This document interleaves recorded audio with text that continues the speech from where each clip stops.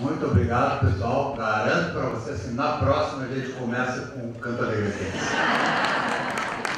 Tem que ser?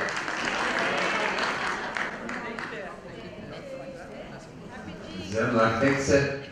Então, Canto Alegretense, mas é a última, prometo.